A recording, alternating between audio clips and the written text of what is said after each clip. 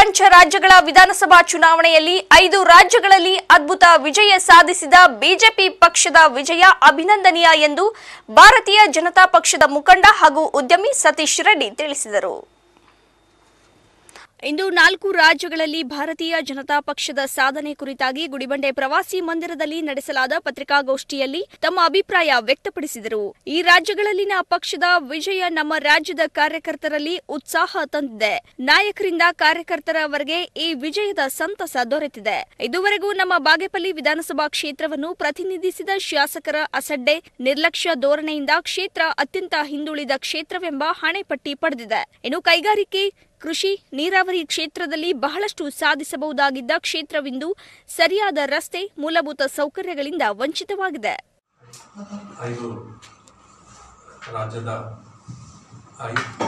ಐದು ರಾಜ್ಯಗಳಲ್ಲಿ ನಾವು ನಾಲ್ಕು ರಾಜ್ಯಗಳು ಕ್ಲೀನ್ ಕ್ಲೀನ್ ಸ್ವೀಪ್ ಮಾಡ್ತಿದ್ದೇವೆ ಸೊ ಈ ವಿಜಯ ಏನಿದೆ, ದೇಶ, ದೇಶದ ನಾಲ್ಕು ಕಡೆ ಈ ವಿಜಯ ಮುಂದಿನ ದಿನಗಳಲ್ಲಿ ನಾವು ಎಲ್ಲ ರಾಜ್ಯದಲ್ಲೂ ಕೂಡ ಇದು ವಿಸ್ತರಿಸುತ್ತೆ.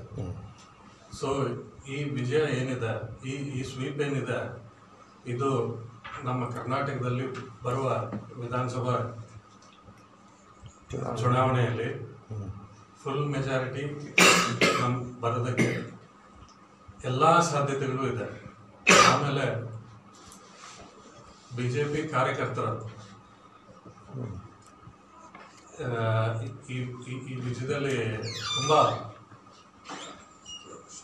ಸಹಕಾರ ಸಹಕಾರ ಈ ವಿಜಯ ಪೂರ್ತಿ ಕಾರ್ಯಕರ್ತ ವಿಜಯ ಅಂತಾನೆ ಹೇಳ್ತೇವೆ ಯಾಕಂದ್ರೆ ನಮ್ಮ ಪ್ರಧಾನಮಂತ್ರಿಗಳು ಕೂಡ ಒಬ್ಬ ಕಾರ್ಯಕರ್ತ ಹಾಗೂ ನಮ್ಮ ಕರ್ನಾಟಕದಿಂದ ತುಂಬ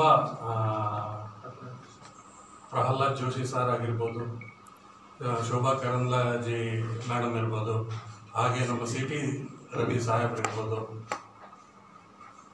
ಇವರೆಲ್ಲನೂ ನೋಡಿರ್ಬೋದು ತಾವು ಆ ರಿಸಲ್ಟನ್ನು.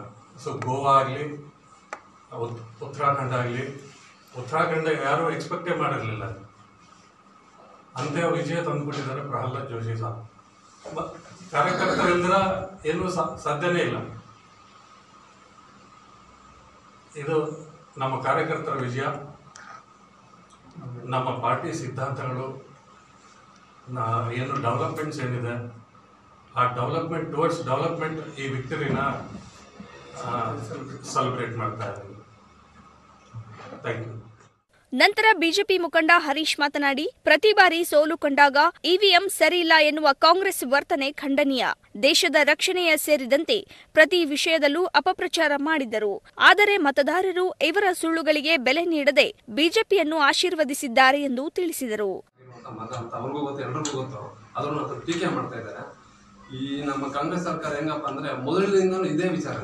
ಅವ್ರಿಗಾದ್ರೆ ಎಲ್ಲ ಮಿಷನ್ಗಳು ಕರೆಕ್ಟ್ ಆಗಿರ್ತಾರೆ ಇಲ್ಲ, ಬೇರೆ ಪಾರ್ಟಿ ಹೋಗಿದ್ರೆ ಇ ವಿ ಎಂ ಮಿಷನ್ ಅಂತ ಹೇಳ್ತಾರೆ. ಈಗ ನಮ್ಮ ಉತ್ತರ ಪ್ರದೇಶ ಜನರಲ್ಲಿ ಜಾತಿ, ಮತ ಸೃಷ್ಟಿ ಮಾಡಿದ್ರು. ಸೃಷ್ಟಿ ಮಾಡಿ ಹೆಂಗಾದ್ರೂ ಮಾಡಿ, ವಿಭಜನೆ ಮಾಡಿ, ಅಲ್ಲಿ ನಮ್ಮ ಬಿ ಜೆ ಪಿ ಸರ್ಕಾರ ಸೋಲಿಸ್ಬೇಕಂತ ಮನಸ್ಸಲ್ಲಿ ಇಟ್ಕೊಂಡ್ಬಿಟ್ಟು ಅವ್ರು ಏನೇ ಮಾಡಿ ಸೋಲಿಸ್ಬಿಡ್ಬೇಕಂತ ಉದ್ದೇಶದಿಂದ ಅವರು ಇದ್ದಿದ್ದು ಆದರೆ ಅದನ್ನೆಲ್ಲರೂ ಜನರು ಅವ್ರ ಮನಸ್ಸಲ್ಲಿರೋ ತಿಳಿಸಿದ್ದಾರೆ. ನಾವು ಜನರ ನಾವು ಜನರು ಯಾರಿಗೂ ತಲೆ ಬಗ್ಸಿಲ್ಲ ನನಗೆ ಮತ ಏನು ನಾನು ಬೇರೆ ಭಾವನೆ ತೋಡಲಿಲ್ಲ ತೋರಿಸ್ಲಿಲ್ಲ ಅವರು. ನಮ್ಗೆಲ್ರಿಗೂ ಒಂದೇ ಅಂತ ನೋಡಿದ್ದಾರೆ ನಮ್ಮ ಪ್ರಧಾನಮಂತ್ರಿ ಹೇಳಿ ಅವರು. ಎಲ್ಲರೂ ಮತ, ಮತದ ಮೂಲಕ ಎಲ್ರಿಗೂ ತಿಳಿಸಿದ್ದಾರೆ. ರೈತರಲ್ಲಿ ಗೊಂದಲಗಳನ್ನು ಸೃಷ್ಟಿ ಮಾಡಿದ್ರು. ಮತ, ಇದನ್ನು ಮಾಡ್ಬಿಟ್ಟು ಅದನ್ನು ಸೃಷ್ಟಿ ಮಾಡಿದ್ರು. ನಾವು ಏನು ಕೆಲಸ ಹೋದ್ರು ಅದಕ್ಕೆ ಒಂದು ಅಪಪ್ರಚಾರ ಮಾಡ್ತಾಯಿದ್ರು ಅದನ್ನು ಎಲ್ರೂ ಎಲ್ಲ ಸುಳ್ಳು ಅಂತ ತೋರಿಸಿ ಜನರು ಒಂದು ಮತದ ಮುಖಾಂತರ ನಮ್ಗೆ ಐದು ರಾಜ್ಯಗಳಲ್ಲಿ ನಮಗೆ ವಿಜಯಸ್ಥಾನ ಕೊಟ್ಟಿದ್ದೇನೆ. ಅವ್ರಿಗೆಲ್ರಿಗೂ ನಮ್ಮ ಮತ ಬಾಂಧವರಿಗೂ ಮತ್ತು ಅದೇ ರೀತಿಯಾಗಿ ನಮ್ಮ ಕಾರ್ಯಕರ್ತರಿಗೂ ಮತ್ತು ನಾವು ಅಲ್ಲಿ ಕನೆಕ್ಟ್ ಆಗಿ ಮಾಡಿರೋ ಕೆಲಸ ಮಾಡಿರೋದಕ್ಕೆ ಅವ್ರಿಗೆಲ್ರಿಗೂ ಧನ್ಯವಾದ ತಿಳಿಸಿ. ಇನ್ನು ಈ ಸಮಯದಲ್ಲಿ ಬಿಜೆಪಿ ಮುಖಂಡರಾದ ಕಿರಣ್ ಕುಮಾರ್ ರೆಡ್ಡಿ ಹರೀಶ್ ರೆಡ್ಡಿ ಶ್ರೀನಾಥ್ ರೆಡ್ಡಿ ಮುತ್ಯಾಲಪ್ಪ ಮುನಿರಾಜು ಬಾಬು ರೆಡ್ಡಿ ಹರಿನಾಥ್ ರೆಡ್ಡಿ ಅಶೋಕ್ ಮೊದಲಾದವರು ಭಾಗವಹಿಸಿದ್ದರು. ವಿ ರಾಜಶೇಖರ್ ಅಮೋಕ್ ಟಿವಿ ಗುಡಿಬಂಡೆ. ಇದಿಷ್ಟು ಈ ಹೊತ್ತಿನ ಪ್ರಮುಖ ಸುದ್ದಿಗಳು. ನೋಡ್